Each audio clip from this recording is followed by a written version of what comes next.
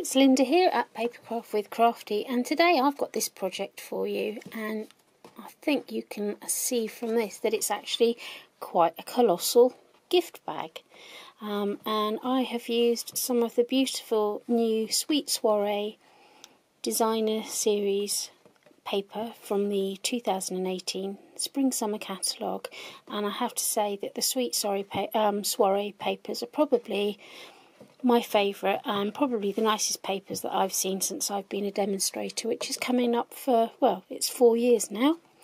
Um, so I just love this paper and I wanted to showcase it for you. And I think you're going to like the size of this bag. So I'll just give you these dimensions. I'll measure it here. So it's actually eight and a half inches wide and it is two and a quarter inches deep here and it is about seven and a half inches tall. So it's a really really decent sized gift bag. Yeah so I'm really pleased with how this has turned out. Um, I hope you like the look of it. Um, I hope you enjoyed this tutorial. It's a really nice easy bag to put together but it's actually quite strong. It's got a nice reinforced base here um, and the sides are made from cardstock. Okay and I just think that these little handles are lovely. Okay, okay. So I think it's really neat looking. Um, so I'm calling it my my tote bag. Um, so I'm going to pop it to one side and I'm going to show you how you can put one of these together. So thanks very much for joining me here today. Okay, so you need two pieces of DSP. This is Sweet Soiree um, and they measure 12 by 8.5 inches. And on each piece on the long side you're going to score at two and a quarter inches. And at 10 so do that with the other piece. Two and a quarter. And 10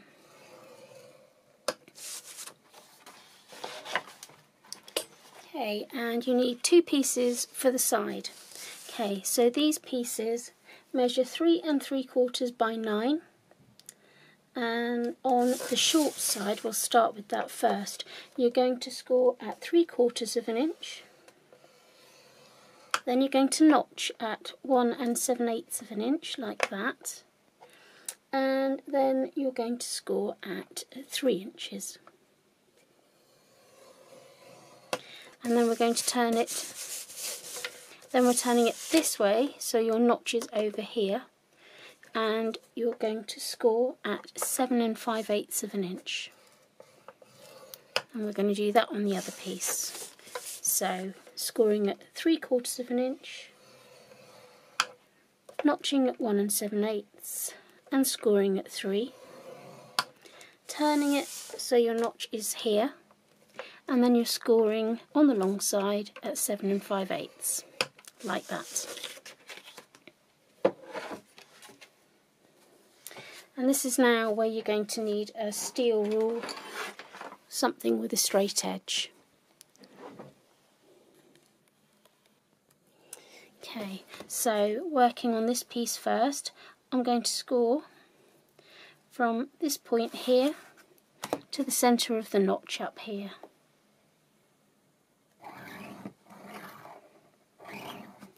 and then back down to this corner here.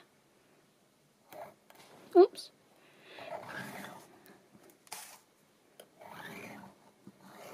Like that.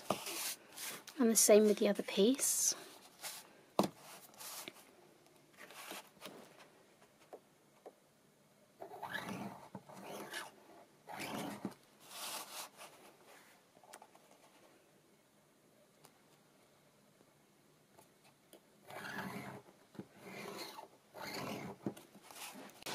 Now I'm going to take my snips and I'm going to remove each of these rectangles on the edge and I'm going to take a slight wedge from that bit there.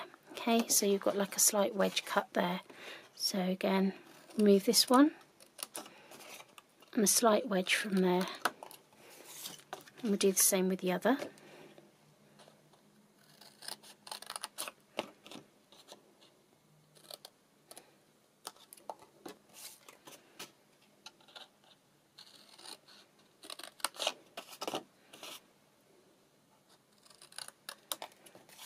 Okay.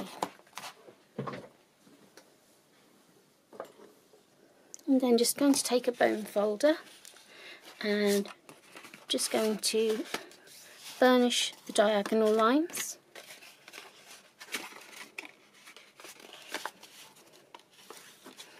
and also the straight lines.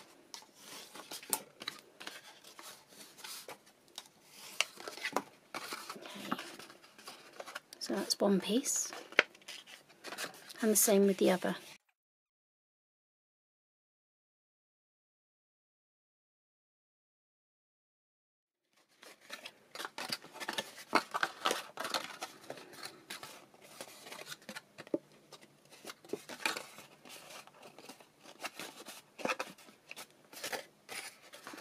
So that's what they should look like.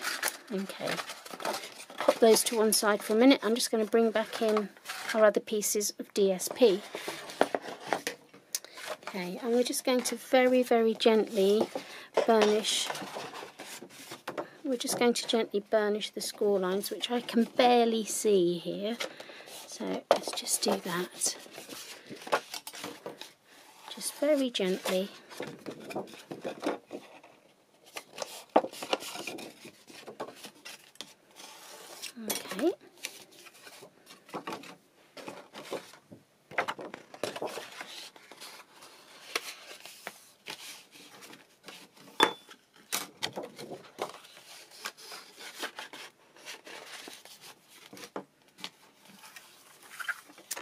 Okay, so what we need to do is find the two widest parts.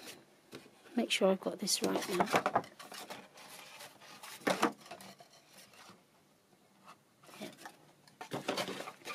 So we've got one end which is slightly wider, scored slightly wider than the other. Okay, so we want the widest end and we want the corresponding widest end to overlap that and what we're going to do is stick those together like that. Now I'm going to be using glue for mine.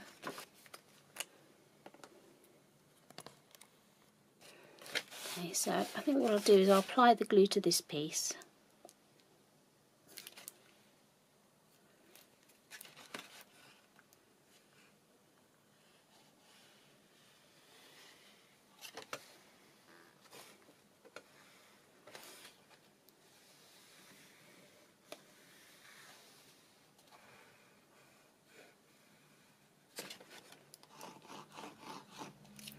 put some in the middle.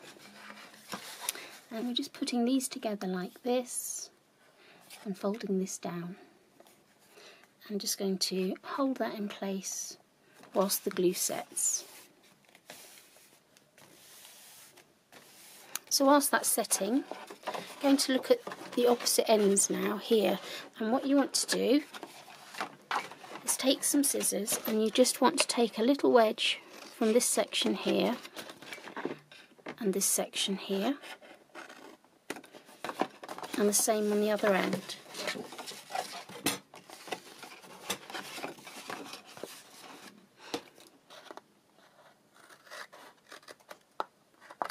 Oops, didn't do that very well. Try again.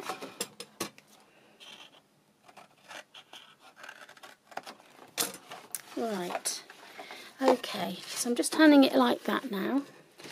And what you're going to do is you're going to take these pieces and you're just going to stick them there. So I'm going to put some glue here and down these panels here.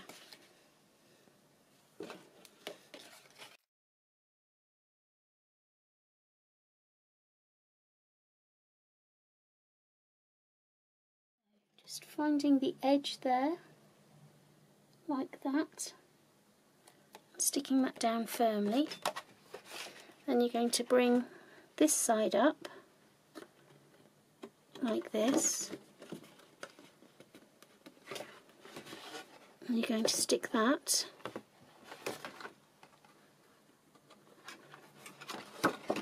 and just hold it firmly there like that whilst it sticks. Bring the other side up here like that. Okay and just let that go off before you start joining on the other the other side. Okay, so you just want to make sure this is nicely stuck down here.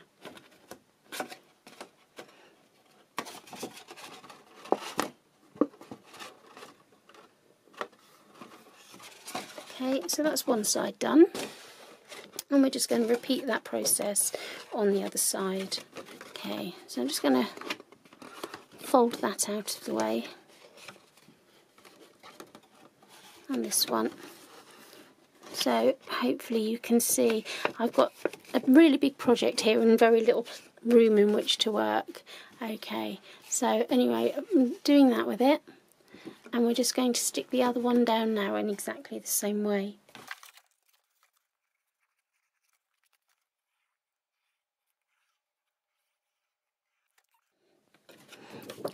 So just going to pop that right on the edge of the base and press it down.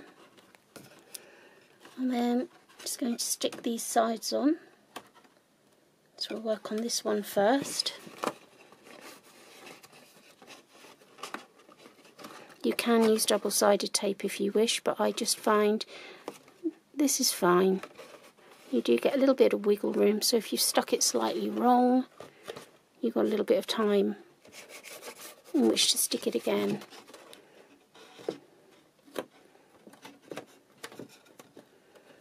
Right.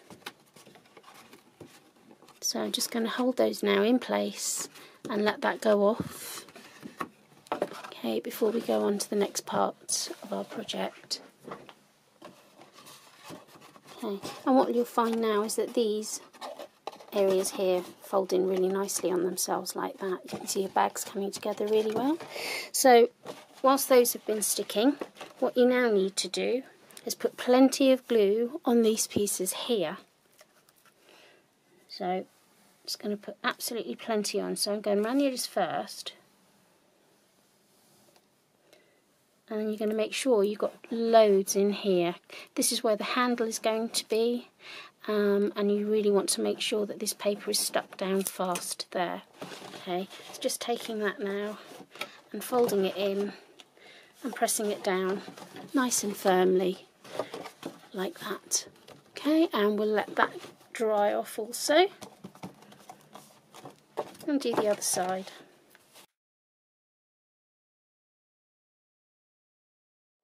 Fold that in and press it down.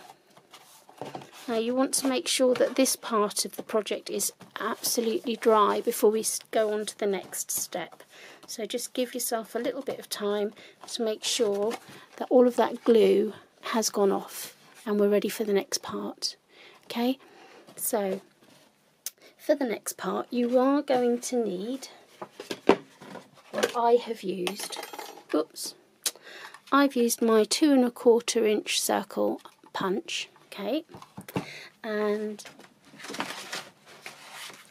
I've also used my layering circles and I've taken the largest plain one. Okay, so that is the largest one in the pack and we're going to be using that one. Okay, so what we want to do, or what I like to do, is take my ruler and a pencil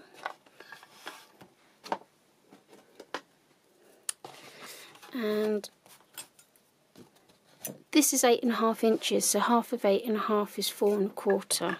So you're just going to take your ruler and make a mark with your pencil at four and a quarter inches on that side and on the other. And this is just so you can use it as a guide because we're going to punch out a circle now Okay, so using that point there as my guide, I'm going to take my two and a quarter inch circle punch and I'm going down not quite halfway, just before halfway, and I'm eyeballing this and I'm getting that as close to the centre of this circle as I think is accurate. And then I'm just going to punch. A little bit of brute force needed there when I did my prototype I used a slightly less thick card or DSP So just going to take that now, not quite halfway, that's in the centre roughly, turn it over and punch. Okay, so you've now got that. I've now got four little scrap pieces of card here and I'm going to take my punch again and I'm going to punch out four circles. So one, two,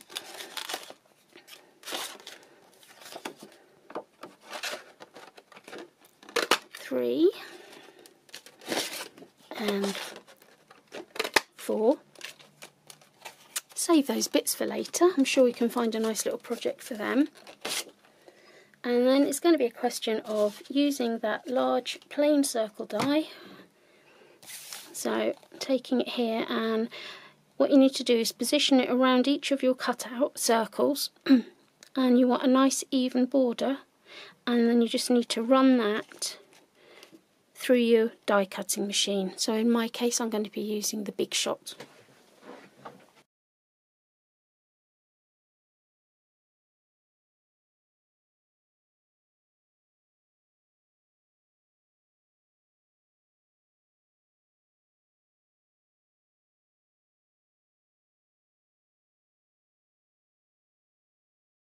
Okay, so there we go. I've got my four circles. Just going to bring my box back in, or my bag back in now. And what we're going to do is take one and take our glue and go all the way around.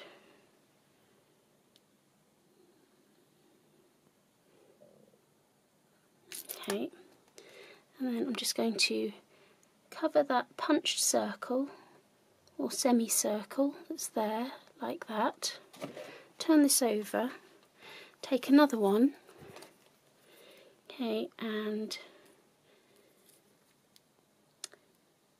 just going to do the bottom half like that because we've already got some glue around here. So I'm just going to take that now and marry that up like that.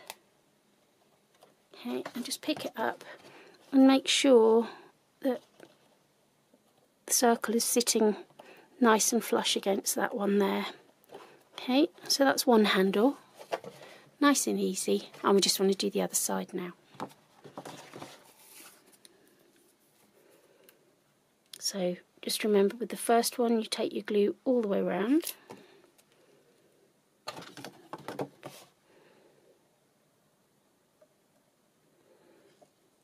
Pop it on there like that, flip it over make sure that's properly in place. There you go. And with this one, putting a little bit more on there. And with this one you just want to go halfway around, like that. And then just do that and make sure it marries up nicely here on the front like that Okay, so I'm going to let that go off and you just end up with a really, really nice tote bag. Okay, so there, I hope you can see, it's really difficult working in a confined space, but I hope you can see just what a beautiful gift bag that that does make. And it's really quite robust, robust and strong as well. You've got this nice thick double base on it. Okay, so I'm just going to finish this off with a pretty bow now. Okay, so I've already gone ahead and I've made myself a double bow. I was quite pleased with this. I will show you how to make one actually because I think I've just about mastered the art of it. I'm just going to take that and I'm going to add some glue dots and pop that onto there.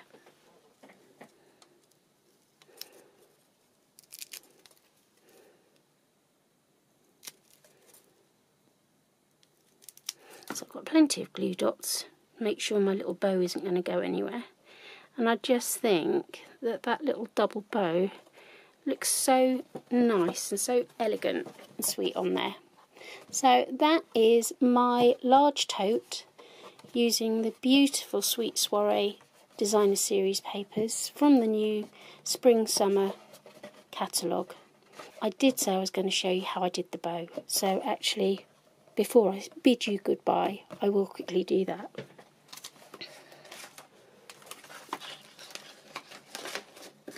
So what I'm going to do, I've got some old ribbon here, pop that to one side. So I think you need something round about like, I don't know, well you need a good length. So probably something like 20 inches, something like that, just so you give yourself lots of wiggle room. So what you do, my hands are all mucky now where I've been using lots of glue.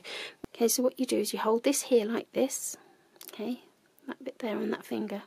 This comes across here like this, goes under, so you're doing like a figure of eight, you're bringing it back over like this, okay, and then that goes under there.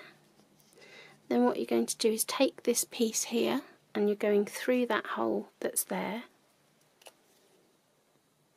Like that. Okay. Bringing this round. And then you see you've got like this loop here.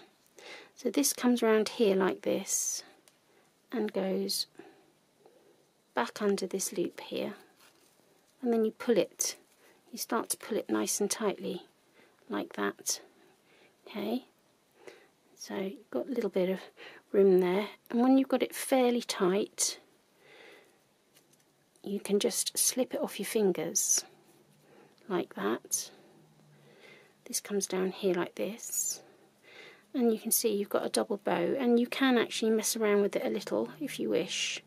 Okay just play around with it but basically that is how you make a double bow so I'm going to take the scissors snip and snip and I've got myself a nice little double bow there which I can use on a future project. Okay, so that is that. So I hope you've enjoyed today's project and I hope you like my tote bag. Um, if you haven't already done so, I'd be really grateful if you hopped over and subscribed to my blog, which is at www.papercraftwithcrafty.co.uk. Um, there I will post my project together with a supply list of everything I've used to make this project today. And there is a 24 hour online store where you can hop across and purchase anything that takes your fancy. Okay, so thanks very much for joining me today, and I'll be back with another project for you very shortly. Bye for now.